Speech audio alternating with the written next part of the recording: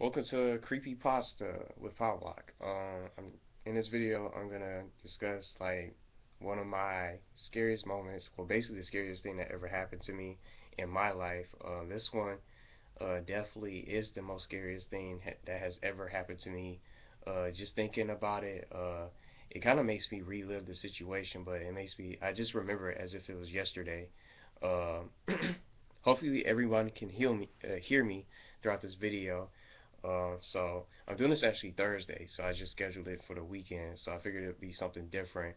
And before I get started and decide, you know, before I share anything with my little scary story, uh, if you guys would like your stories uh, shared in a video, um, like any subscriber or viewer out there, uh, I'll be willing to share your story in a video, and then uh, I'll tell your story in a video, and I'll give my reactions based on what happened and all the stuff, what I think and all that kind of stuff. So I thought that would be probably uh, pretty cool. But if you guys are interested, I'll do that for you guys. You know, share your story in a video, and uh, you can just send me your story via, you know, like message me your story or just, uh, you know, contact me here on YouTube or any way that you can. You know, Facebook or Twitter. You can uh, message me on there or any way that you can. So if you would like your story shared, uh, I'm willing to share anyone else's stories out there in your scary moments uh, you know, your scariest moments that happened in your life, uh, I'm willing to do that. So uh, I just wanted to say that before I get started.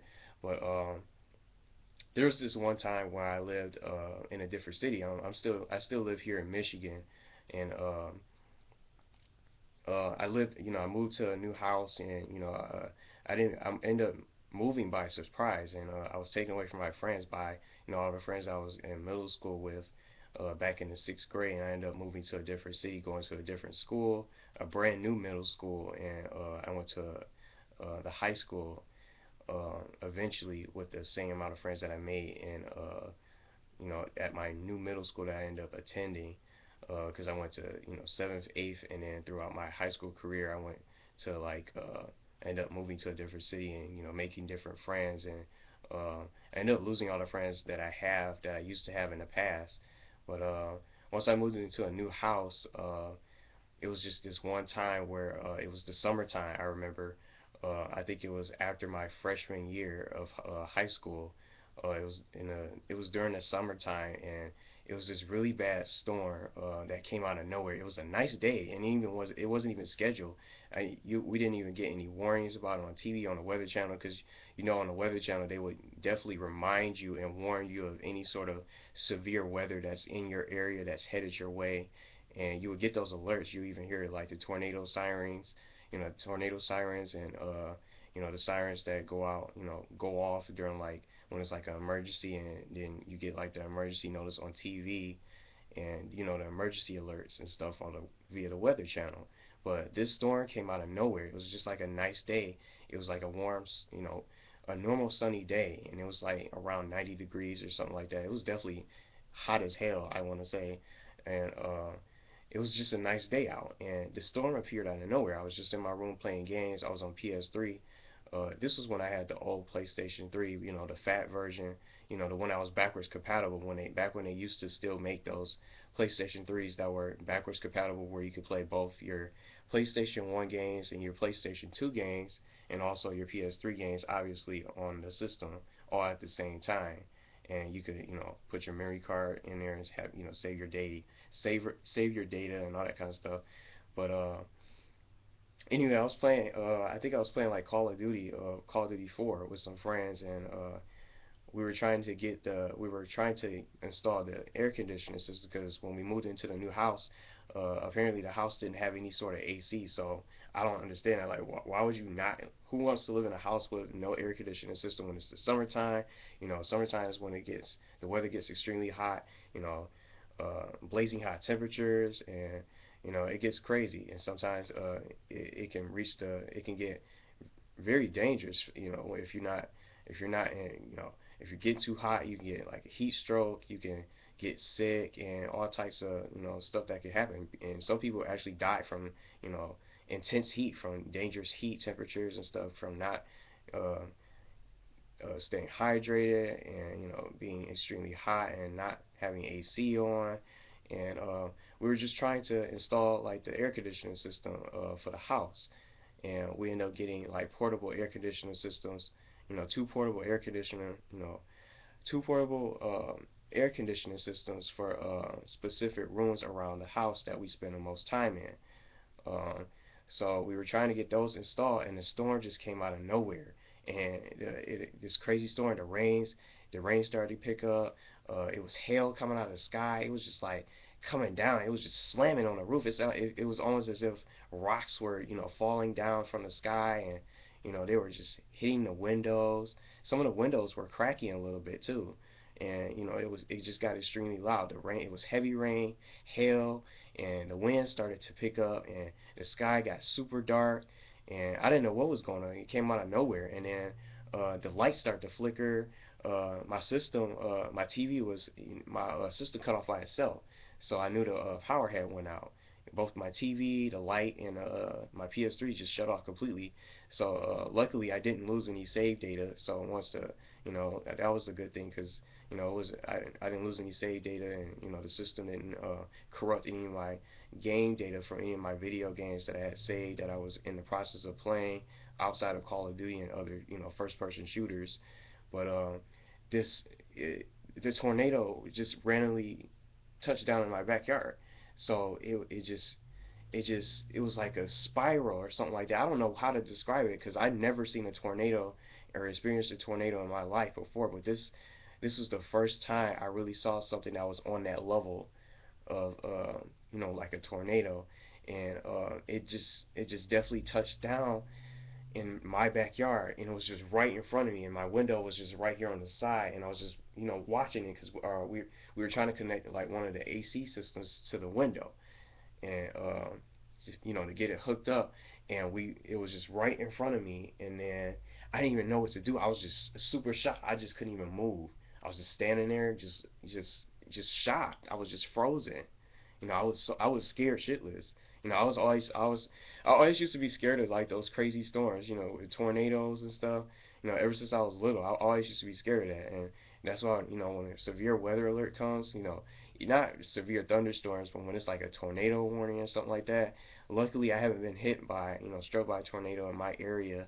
Uh, it's always like you know being in Michigan we barely get any sort of severe weather. You know, natural disasters, tor- you know, tornadoes, earthquakes, uh, tsunamis, hurricanes.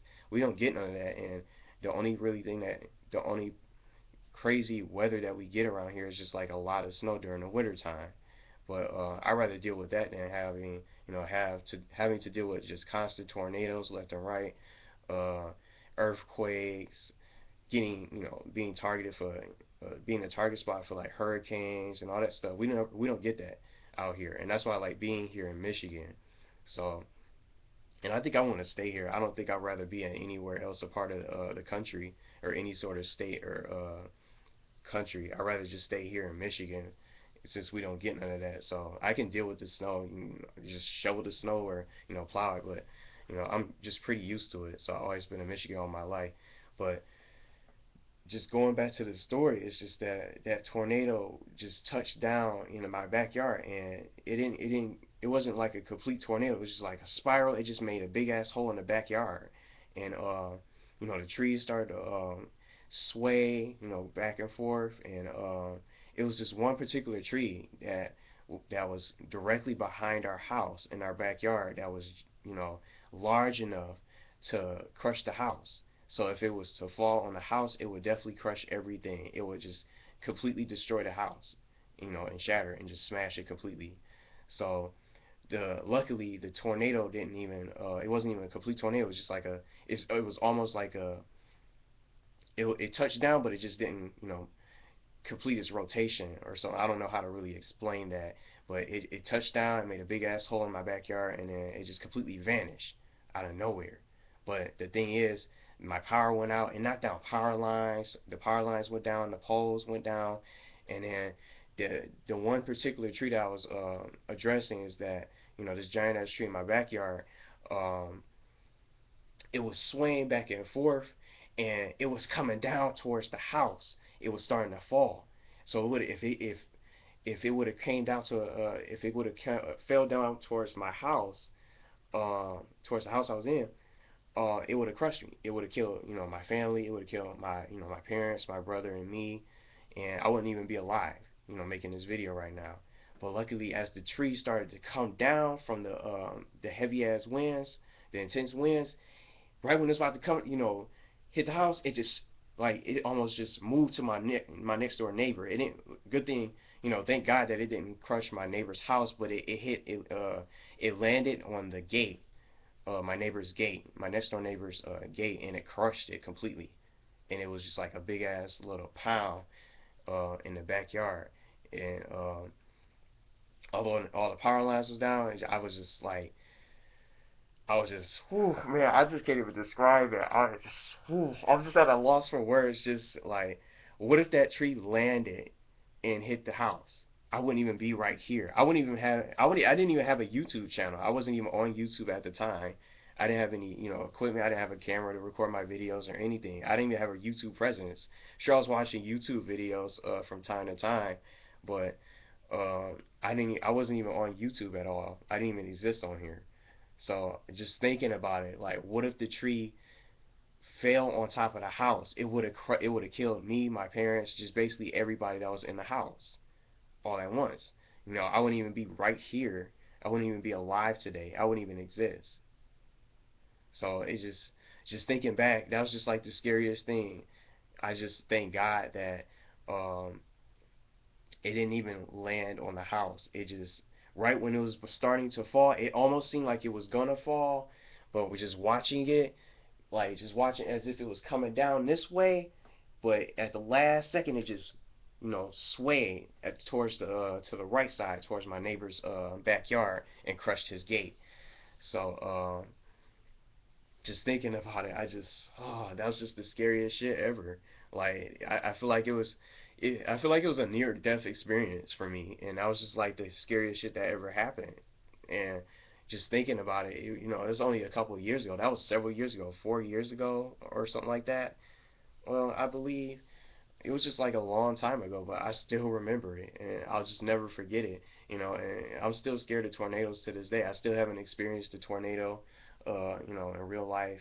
You know, a full-fledged tornado that was just, you know, en route of hitting my area, you know, on its way of crushing, you know, destroying, you know, houses and all this kind of stuff, debris flying everywhere. I have never experienced that before. And uh, I don't know if anyone else out there has ever experienced a tornado. I don't know what it's like. I never know. I don't ever want to know what it's like or experience it because uh, I was completely frozen during the time when I saw that tornado touch down in my backyard. And thankfully, it did not, you know, it completely stopped. It vanished, but the winds were still going crazy. Hail was coming down, heavy rain you know, intense winds, you know, trees being falling and all that stuff. And not to mention that this house that I was in, this new house that I moved into, uh, the power was connected to the electricity. And whoever built the house, they connected the electricity with the power. So it basically, if the power went out, I had no water. So I couldn't take a shower. Uh, none of the toilets were flush. You couldn't run the sinks or anything. We couldn't use the water or we couldn't use the water. We had no power. I couldn't play any video games, and I was out for you know I, I was without power for like two weeks at the match or over two weeks, and you know I was still uh, in high school and you know at the time, but um, thankfully it was just uh, this summertime. I didn't have to go to school or anything, so I was just like bored from for like two weeks. I didn't have nothing to play. Uh, I think all I had was uh, my DS at the time my PSP. I was just playing uh, Vice City Stories. Well, not Vice City Stories, uh, Grand Theft Auto Liberty City Stories. But uh, we had a generator just to keep the refrigerator running, and uh, you know a TV, and then a fan, and then uh, you know a DVD player just to watch movies on and stuff. And then just to keep my phone charged up, I would just you know plug it in every now and then if my phone would run low on battery. And we just kept eating out, you know. We didn't really we couldn't cook anything. It was too hot to cook or anything like that. We just kept getting you know fast food. We got pizza and all that kind of stuff. But it just sucks that I couldn't have we couldn't use the water. And uh and I know this will probably sound embarrassing to share but I had to wash up in a fucking bucket of water and for basically two long weeks because it took so long because we weren't the only ones without power it was like thousands upon thousands of people around the neighborhood, not just in our neighborhood, in our city. It was people in, you know, in the state as a whole. And it took so long for DTE to get to us. They did, they had no idea when they would be able to get the power on, and we could have been out without the power, you know, without power for like a month. I was just thinking it might be like a month until then, because the damage from the storms and those intense winds, especially from that little mini, that tornado that attempted to uh, form in my backyard, and with that big ass hole, and knock down trees. We had to get people to uh, cut down that tree, that big ass tree that fell down in the backyard uh, towards my neighbor's gate, uh, get the repairs. We had to wait for the, the tree to get cut down completely. They had to move the power lines. We had to get new poles for them to set up the uh, the neighborhood's power lines and the uh, transformer blew out. We had to wait for all that stuff to get fixed up. They had to get new poles for the electricity, you know, to set up the power. It was just so much time that had gone by. It was just it was taking so long, and I was just missing playing. I was so bored. I couldn't even play the game. I just wanted to, you know, play one of my games. But uh, we had a generator powerful enough to uh, to power a game system. Uh, I was playing the GameCube. I remember I had Super Smash Bros. going. I was just playing random matches. I would. It was Super Smash Bros. Melee for the GameCube. I, you know, we didn't, we couldn't play uh, online or anything. I was just playing the living shit out of Super Smash Bros. each and every day just to if I if I wasn't playing my PSP, I was probably playing my GameCube or on my phone or just watching TV. It was just hell. It just sucked. You know, we didn't even have any air conditioning in there. You know, it was just extremely awful. It was like hell. You know, and just it was not being able to use water, washing up in that fucking bucket, you know, of water and stuff you know, fill the water, you know, fill the bucket with bottles of water just to wash, you know, to wash up, just to brush my teeth and wash my face and all that kind of stuff. That shit was horrible. I'll never forget that. That was a horrible experience for me. It was not only a scary moment, like a near-death experience that I got through and survived. Thank, thank, uh, because of God Himself, the man upstairs. I, uh, I couldn't be more thankful today. Just thinking about it and just telling the story. But that's the scariest thing that has ever happened to me. Uh, by far, there is nothing else that has ever happened to me that is on that level of scariness uh, from throughout my life experience. Uh, I don't know if anyone else had a similar story, you know, a similar story to this, or you know, ever experienced a, a crazy ass storm like that, and maybe like right there, and you're being right in the middle of it, and uh, a tornado touching down right in your area. So I'm just I can't I just can't be any more thankful that I, I survived that. And I feel like just thinking back I survived that. I made it through. I'm still alive today standing strong. And you know I'm on YouTube now. I have a YouTube presence now. I didn't even have one at the time. But I never expected to really share that story but uh, I wanted to share that with you guys.